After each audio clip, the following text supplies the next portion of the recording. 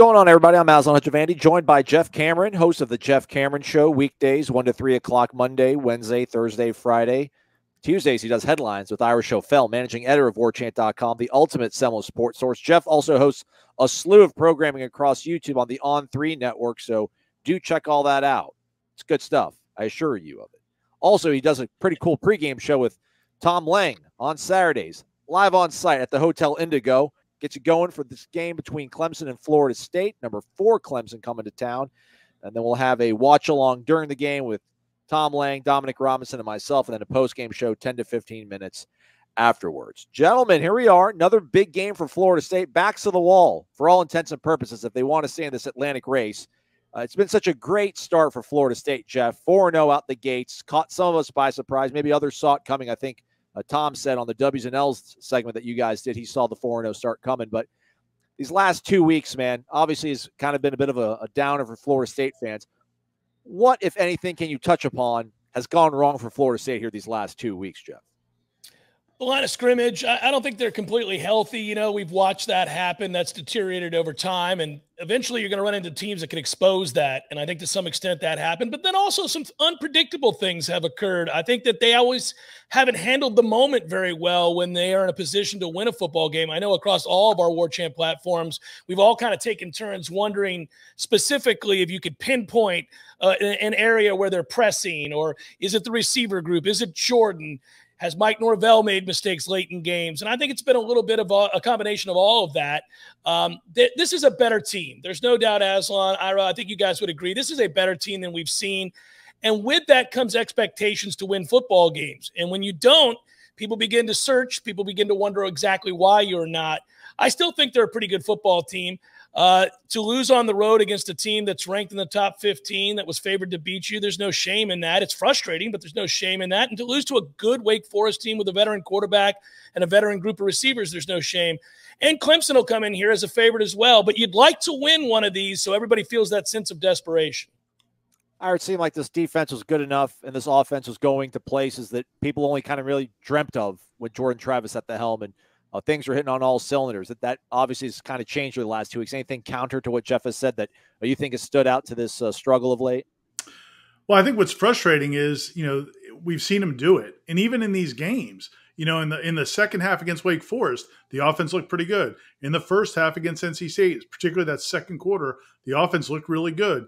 But then they've had these halves that have just been dreadful. You know, you get shut out in the in the second half against NC State on the road in a game you have a two touchdown lead. You know that can't happen. The first half against Wake Forest, you know, we make a lot of, about the defense and the struggles they had in that game, but man, this is an offense that's supposed to score, especially at home, especially against a Wake Forest defense that was not very good coming into that game. And you had seven points into well into the third quarter.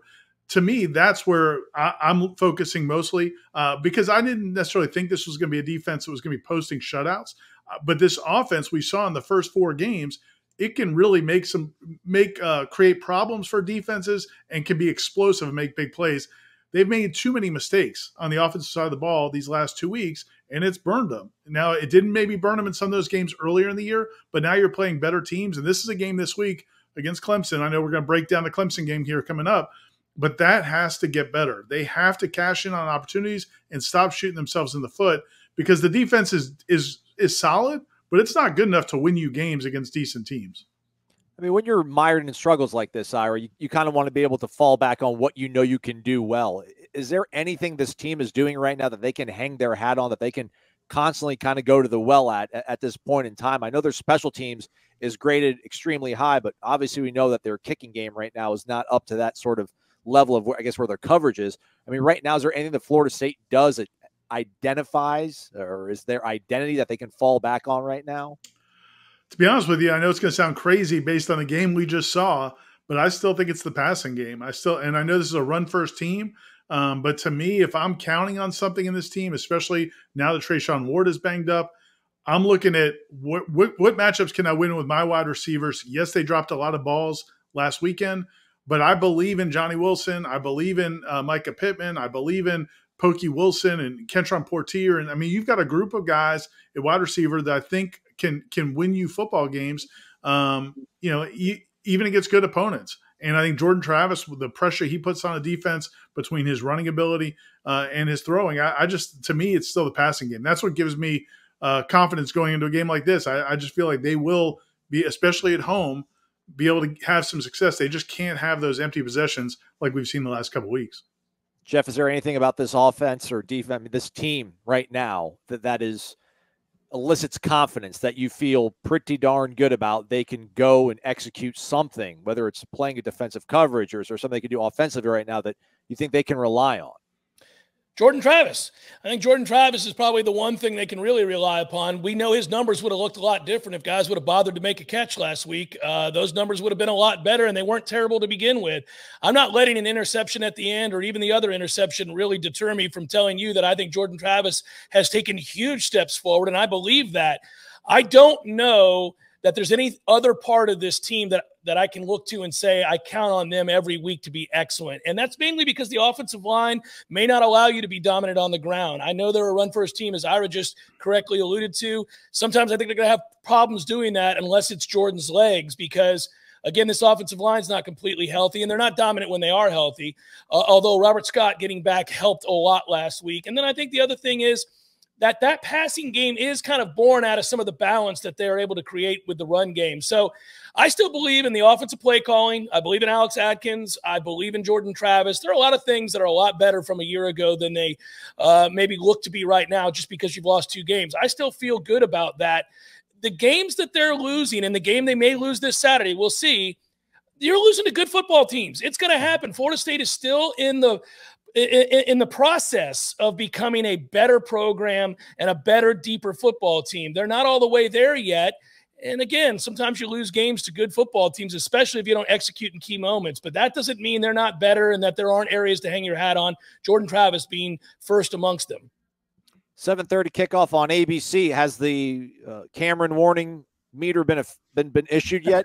what, what, maintain level are we at right now, Jeff? No, you know they blew it last week, Aslan and Ira. I would have had this as a Cat Five because you would have been in position to maybe be a, a co-first place team in the Atlantic with the hopes of winning the ACC or at least playing for the ACC title. But by losing that game, it doesn't ruin your year. But it puts a damper on the idea that you could win the Atlantic, which would have been a surefire Cat 5 main team. If I'm going to issue one, maybe a sneak peek here, maybe a cat three, cat four. It is a night game against Clemson. We do care deeply about this matchup, desperate to get a win. Plenty of fans, especially students, will be having a good time before this game. So just watch yourself. Make sure you're able to watch the game, but not quite a cat five. Didn't mean to give out exclusive content that you can hear only on the Jeff Cameron Show, 1 to 3 o'clock, 93.3 FM, as well as here on War Chant TV. Uh, as you do get ready for that game, head over to the Hotel Indigo, 826 West Gaines Street. Doors open at 3:30. If you don't have a tailgate, things fall through planning wise. Come hang out with us. They got a full bar. They've got a yeah. tailgate set up in terms of a, a, nice little meal, a little bit of a buffet you can help yourself out to. Uh, doors open 3:30. It's cash bar, and you have to pay for the buffet, but still, though, it's worth the price. Uh, come hang out. Doors open 3:30. Live show with Jeff and Tom starts at 4:30 over at the Hotel Indigo, seventh floor. Come to the top, hang out with us.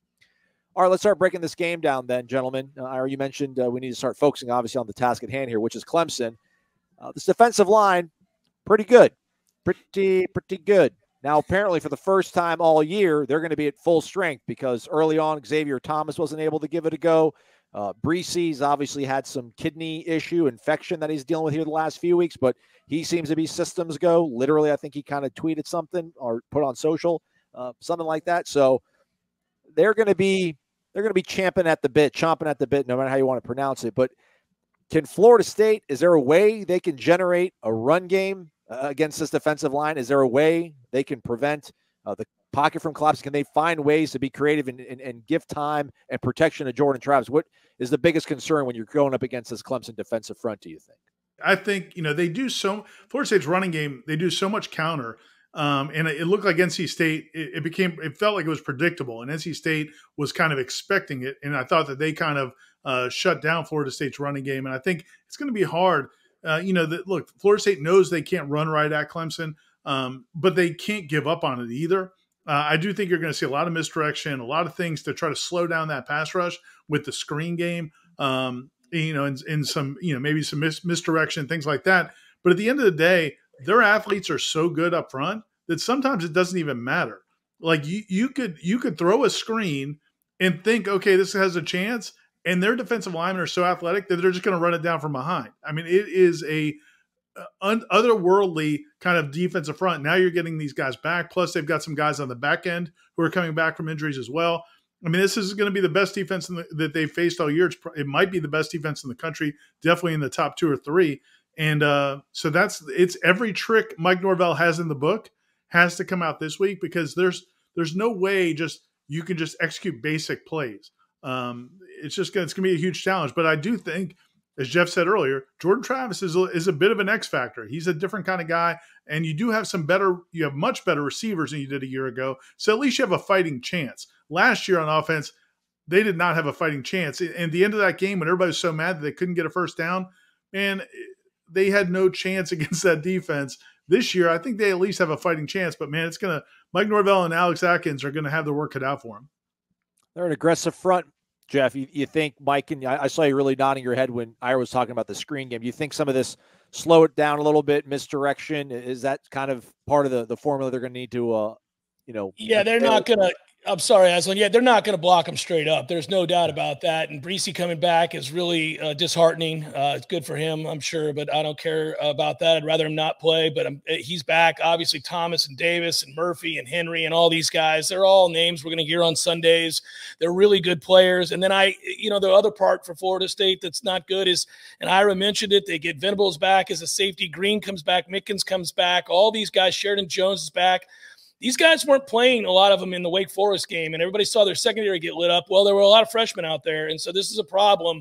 These guys come back now, and I think you see the real Clemson defense. But I do believe that the screen game's important. I believe Jordan's legs are going to be very important. It was really good to see him take off last week and run in a way that was more uh, similar to the way we've seen him run in the past. He has to really run the ball for Florida State to create some sort of uh, balance and fair play, really, from the defense, if you will. Otherwise, they're going to have a field day against this offensive line, which is, is not athletic enough or deep enough or talented enough to block this Clemson group. But they've done a good job of game planning around these disadvantages in the past. And to Ira's point, I think it's a good one. When you have found ways to scheme one on ones in the past, it's been with receivers that couldn't win those one on ones. And you've had to do that with an offensive line you didn't trust and everything else. Well, now you got to do it again, but you have receivers that can win those battles. So if they're successful, I think you can cash in a little bit more and maybe make a few more big plays in the passing game than you could have last year. It's an uphill climb. It's not an advantage Florida State. There's a reason Clemson's favored on the road at night, but it is something that is worth watching because you do have some guys that can do something about it if they get in one-on-one situations. Well, then offensively here, you know, the whole outlook for the season, if you're looking at Clemson, was been is, is this quarterback going to be able to take a step forward? Uh, seems like he has. So for Florida State, will it be more imperative to to rattle to affect the quarterback, Jeff, to affect DJ Uiagalelei, or does everything kind of start and stop with that running back Will Shipley over there?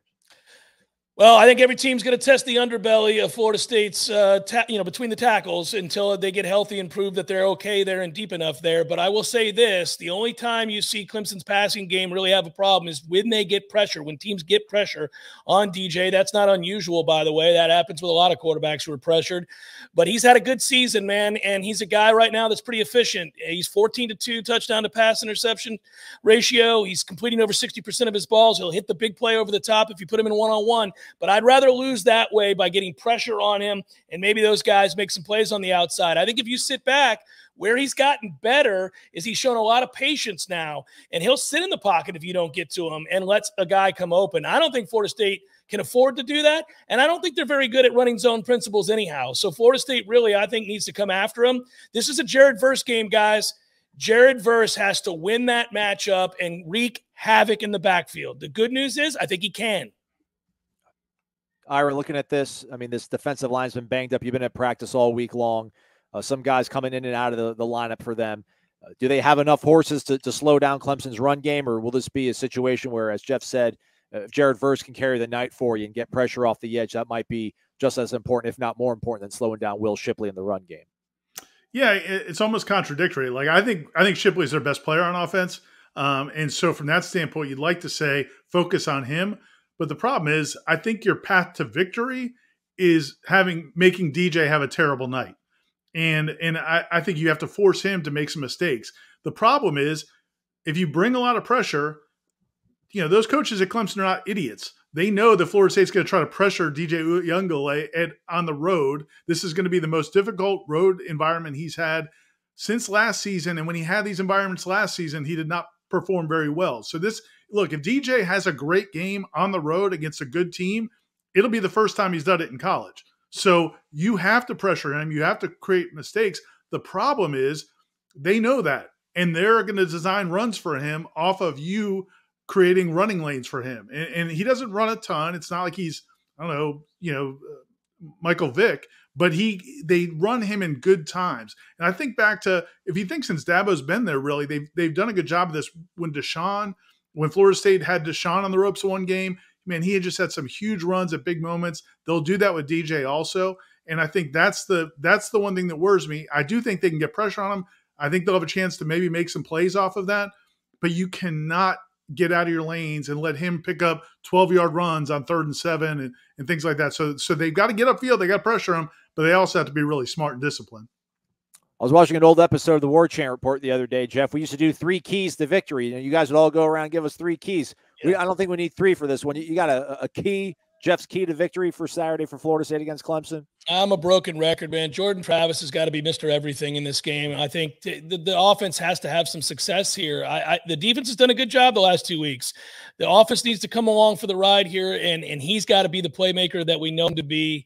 I also think he's going to be running for his life a lot of this game. But you know what? That's a kid that makes plays, makes guys miss all the time. And if he can do that and create some big plays – maybe Florida State does enough on offense to be in this game late, and the crowd can help take over, right? You try to get you across that finish line, but you got to be there late. And I think early on, it's a big test for Florida State's defense to stop Clemson so this game stays tight until they can figure something out that works. Um, it, it, it's such an easy thing to say and a silly trope. You know, great quarterbacks have to make plays in big games and all, but it's true. It, it really is. I just think Jordan Travis is going to have to be a superstar in this game. And I think he has the capability of doing that. Um, it's, it's a tough matchup for Florida State. I think Ira and I have painted that picture. We're realists here. But but Jordan can be pretty special sometimes, and he's going to have to be on Saturday night. Would that be it for you as well, Ira? Does, does Jordan have to get back on that sort of track, that trajectory that everybody had for him after four games to, to give Florida State a fighting chance in this one, or anything else kind of standing out to you for a, a key to victory for Florida State Saturday? Yeah, I mean, I don't disagree with him, but I would actually go back to the other side of the ball and following up on the point I just made about rattling DJ. I mean, I just think they're going to have to make some plays on defense that gives this offense a short field, gives them some opportunities for for, for some cheapies, because uh, you just look, none of us, nobody in the Florida State fan base is expecting Florida State's offense to go 80 yards against that defense. And this is a defense that that I think again against that Clemson offense, I like their chances at home with the emotion. The and I know they're banged up on the defensive front, and Clemson's probably going to run right at them. But I like I I, I give Florida State a, a, chance, especially with their linebackers against a more traditional running game. And I think he, he's going to have to make some throws. And I think Florida between the crowd and this defense, they can force him into some challenges. So to me, it's it's they have to make plays on defense, get off the field quickly, give the offense some good field position, and then you have a chance. If they can't do that, I mean, I I, I don't think the offense is going to be able to win this football game. Hope you're ready for this game, everybody. It's going to be a fun one, and if you're not, go to Corner Pocket Bar and Grill on a Friday night between 5:30 and 6:30. Jeff Cameron and Corey Clark will get you fired up for this one. Hang out the Corner Pocket as they do a live broadcast for happy hour. If you can't make it to the game, if you can't make it to Tallahassee, you can watch it live on YouTube. Again, 5:30 to 6:30 over at the Corner Pocket Bar and Grill. Then Saturday, again, the Hotel Indigo pregame show, War Chant Game Day, presented by Zaxby's, 826 West Gaines Street. That's where Hotel Indigo is. Can't miss it. It literally just says hotel in big letters on the outside of the building. It's in College Town. And the doors open at 3:30. The live show starts at 4:30. That's with Jeff and Tom getting you ready and then we'll get the watch along and post game shows to follow. So nowhere else you need to be other than War Chant TV and warchant.com. All right, gentlemen, it's time to make our game predictions. But before we share ours, uh, we use the royal we. So everybody else on the warchant.com staff now can make their predictions for the game. Hey, what's up, y'all? Uh, I do have a pick that I think y'all are going to like. I am going with Florida State this week. Uh, I'm picking the Noles in a lower scoring defensive game. I think this is such an important game for FSU. I think it's you know, a game that they need a lot more than Clemson does. Um, I think Florida State offensively is going to have to roll out Jordan Travis a lot, try and combat Clemson's defensive line, which is probably the best in the country. I think Florida State pulls it out. I think the home field could be a huge advantage. Night game, Florida State uh, ekes out a defensive upset, 21 to 20. Give me the Noles. Going to make my pick today from the beautiful Vista. Use that word a lot this week. That is Capital City Country Club. Group in front of us is taking a hot minute, so I guess I got time to do a prediction. I don't feel so good about this one this weekend. DJ has been pretty good for Clemson all season long. He's going to be testing FSU's corners down the field. We'll see what happens. I do like Florida State's chances to be in this game late, and if they win it, oh my goodness, it would be so emotional. But I can't pick it because that's not what I think is going to happen. I hope I'm wrong. Final score Clemson 34, Florida State 28. All right, Nole fans, I'm walking to a Braves game right now, a playoff game.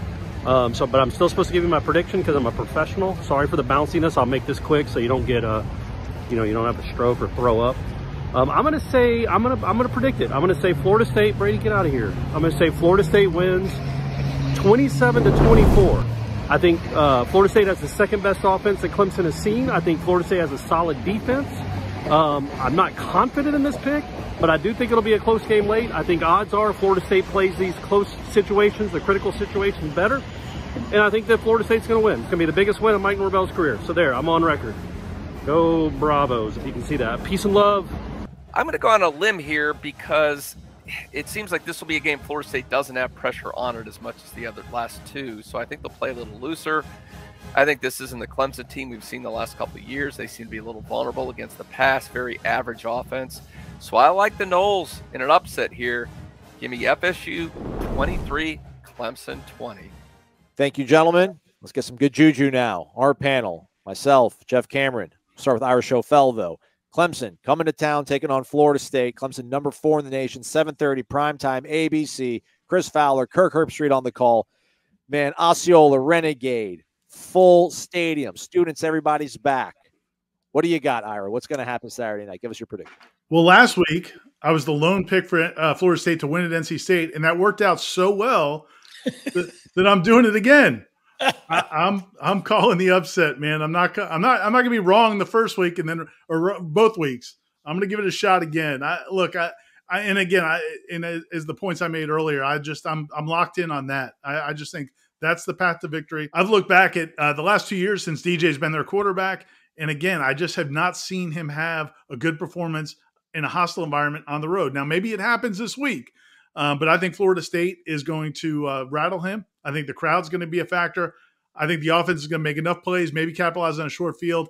I've got the Noles win 24 to 21. Somehow Ryan Fitzgerald is going to kick. It's not going to be the game winner at the end, he's going to get a, he's, going to get a field goal at some point in the first half of that game, and they're going to win it 24 to 21. Shock the world and give this uh, fan base something to be excited about over the two weeks during the bye.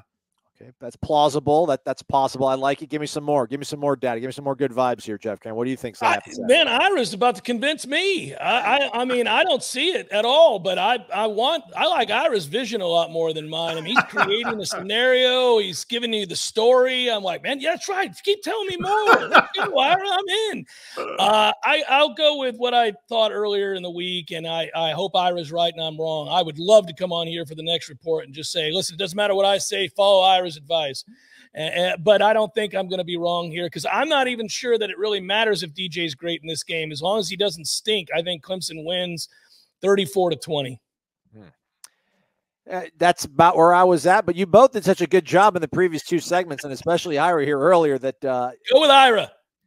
I, am not picking upset. I, I I don't think I saw a sharp enough practice in the two night two days I was out there to to go maybe that far, if you will again, man, I know we're we are beyond the point of, of moral victories. I don't I don't think it'll be a moral victory, but the point remains that this team is going to be competitive every single week out. I don't think they're going to give up. They're going to fight. It's going to be a tough one.